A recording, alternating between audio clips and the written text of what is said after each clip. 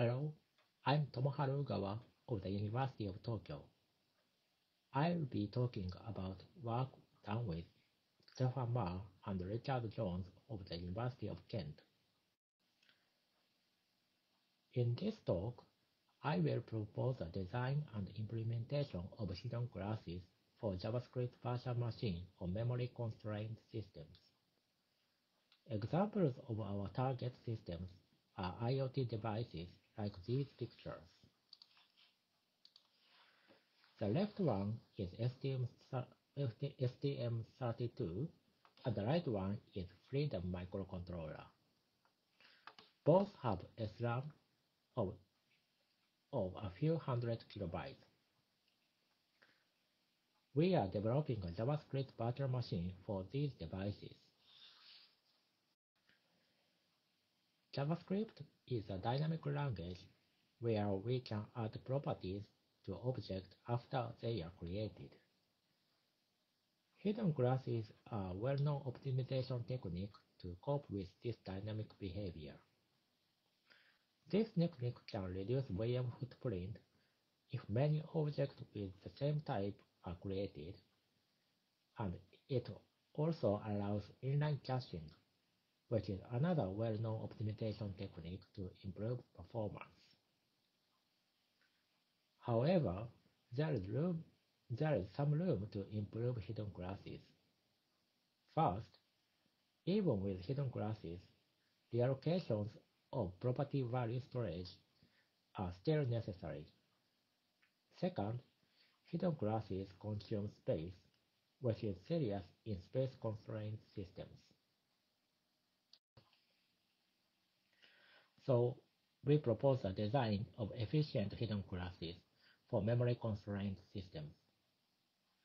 The new design reduces both reallocations of property, property value storage and space consumption due to hidden classes. This work is designed for our developing JavaScript virtual machine, EJSVM. EJSVM is a JavaScript virtual machine for IoT. It supports a subset of ECMAScript. Especially, it only supports adding normal properties. EJSVM is a pure bytecode interpreter. It does not have a JIT compiler. It uses Mark Swift garbage collection, but recently, compaction is being implemented. In the evaluation of this talk, we used compaction for all all GC cycles. Now I explain the standard hidden class before going on to our design. Hidden classes let you map from the property name to the location of the value. For example, these P0, P1, and P2 are objects that have the, uh, that have this hidden class. This hidden class describes that the location Uh, of the property x is at index 0. So the value of the of the property x of, of object p0 is 3. Hidden classes are similar to class objects of statically typed languages, but they are created dynamically. In this example, an object p0 is first created with an empty hidden class on the left of the diagram. The hidden class evolves adding property name index mapping as property are added to P0. It ends up with the hidden class on the right. On the right. Further objects P1 and P2 allocated at this allocation site share the same hidden class. The property values are stored in the separate property array so that the arrays can be extended when a further property is added. In the rest of this talk, I will use this abbreviation, these abbreviations for hidden classes. Hidden classes form a state transition diagram called the hidden class tree, which allows sharing. Objects are born in the root state of the tree And when a property is added, an object follows a transition edge to find the, find the next state. In EJ's EJSVM, different allocation sites share the same tree if the constructor functions are the same. For example, uh, in this program, P and Q share the same tree.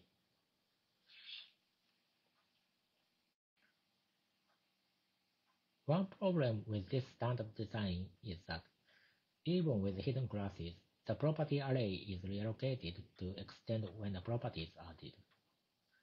This involves memory allocation and copying contents. We could overallocate slots for property arrays to mitigate this problem, but this may waste space. Another problem is memory pressure due to hidden classes. Hidden classes stay in memory for future use. We found that these hidden classes consume the substantial part of the heap. For example, after VM initialization, we found that 12 kilobytes was used for hidden classes, and for the collision detector benchmark, about, about 50 kilobytes was used for hidden classes. However, we found that most hidden classes are not the final class of any object. For example, let's consider this program. Object P gets properties x and y, and then under some condition, it gets u and v. In this code fragment is executed repeatedly, objects can eventually get only xy class or this xy class. These x and xyu classes are abandoned. In this, in this talk, I will call these classes intermediate classes and draw with blue.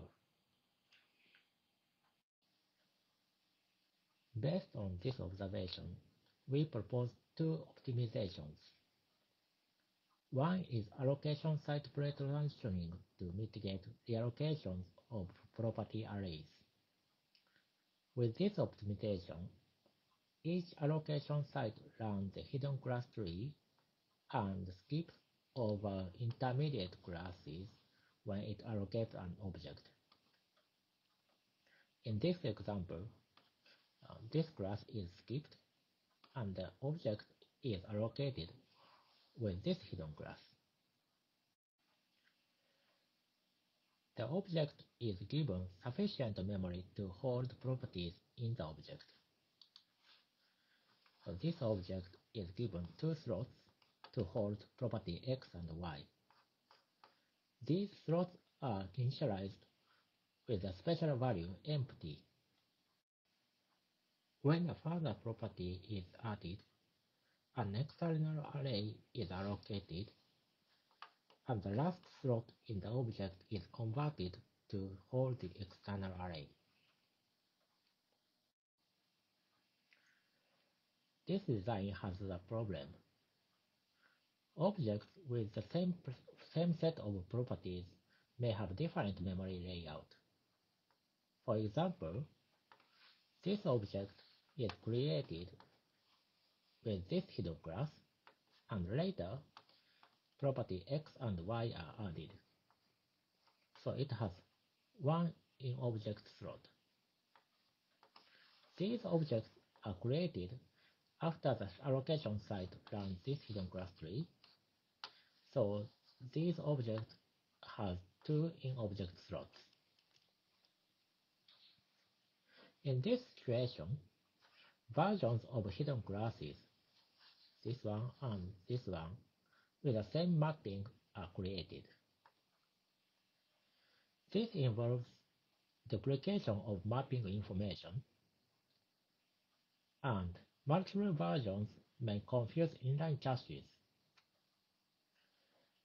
If an inline cache caches this graph, then the cache, uh, the, the inline cache cannot access these objects.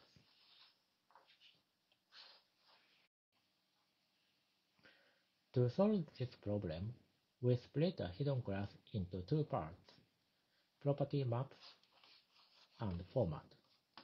This is property map and these are formats. Property map describes the mapping from name to index, but the index is not the offset. The actual location is computed in this function from the index and the number of in-object slots which is held in the format. Inline caching caches this property map.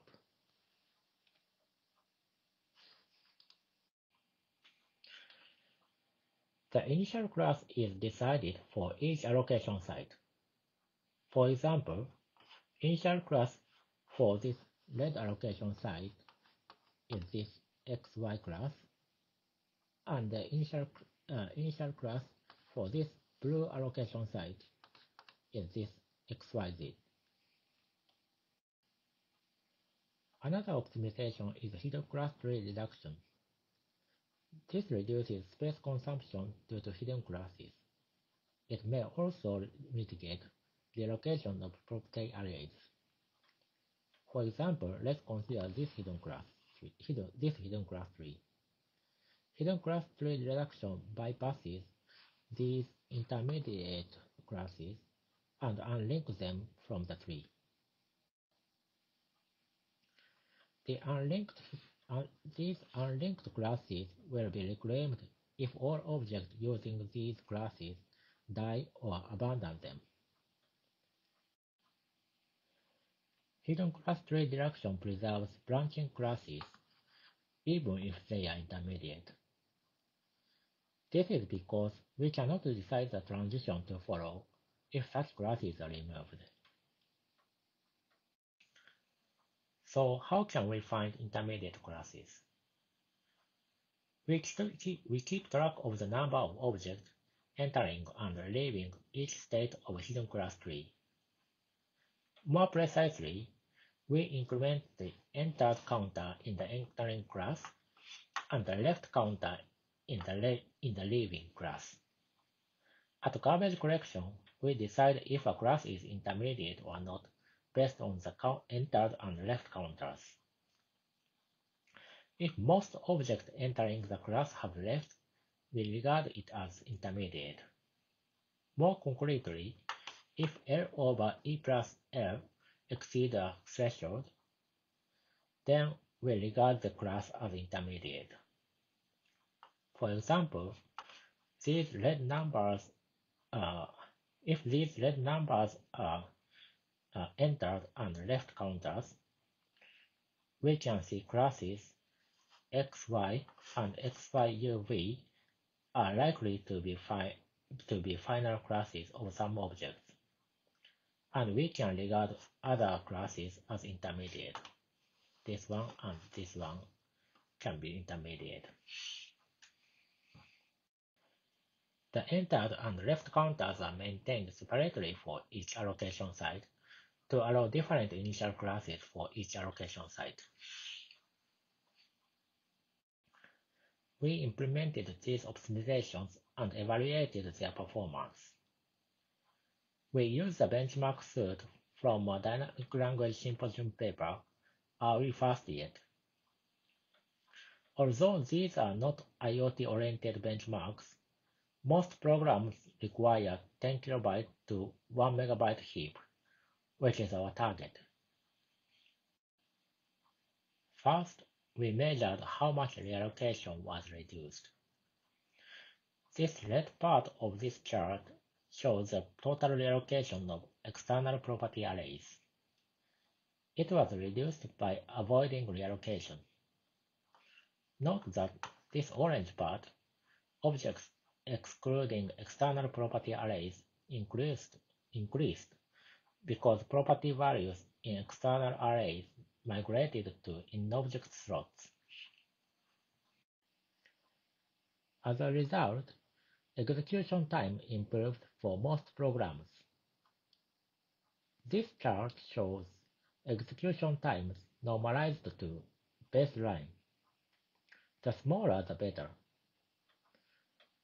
The orange bars are for the optimized VM. This chart shows execution time for most programs are improved. Next, this chart shows how memory usage due to hidden classes is reduced. For example, after VM initialization, only 3 KB is used for hidden classes. For the execution of the collision detector benchmark, only about 10 KB of the memory is used for hidden classes. These charts show the minimum heap sizes to execute programs.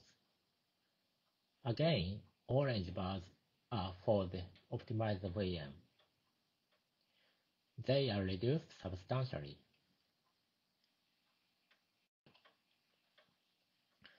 Finally, we compared the performance of EJS VM with another JavaScript VM for IoT, JerryScript, which does not use hidden classes.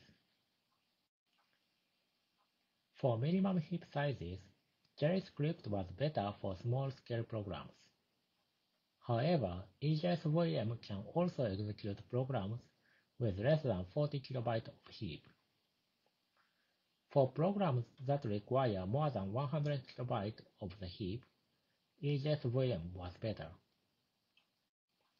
For execution times, EJS VM was better except for Mandelbrot and Permute. These programs do not access normal properties frequently. In conclusion, we propose a design of hidden classes for memory constrained systems. The key observation was that many intermediate hidden classes are not necessary. Based on this observation, we propose two optimization techniques. One is allocation site pre-transitioning which improve execution time. The other is hidden class tree, hidden class tree reduction, which reduces space, space usage. Thank you very much.